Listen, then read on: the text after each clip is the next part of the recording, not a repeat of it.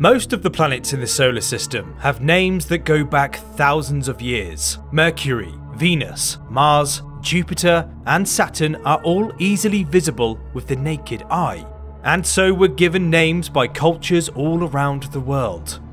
It wasn't until 1781, however, that astronomer Sir William Herschel made a monumental discovery when he spotted the seventh planet from the Sun, Uranus, with his telescope.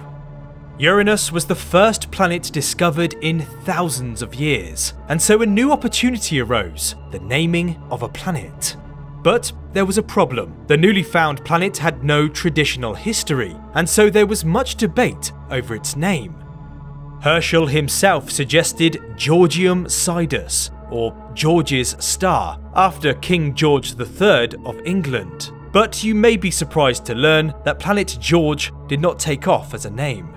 Not only did it go against the convention of naming planets after Roman deities, it was also less appealing to astronomers outside of Great Britain, for obvious reasons.